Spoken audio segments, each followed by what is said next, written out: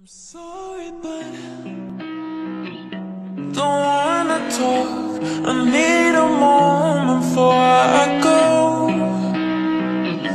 It's nothing personal. I draw the blinds. They don't need to see me cry. Cause even if they understand, they don't understand.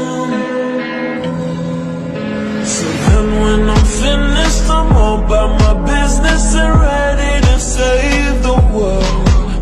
I'm taking my misery, making my bitch can be everyone's favorite girl. So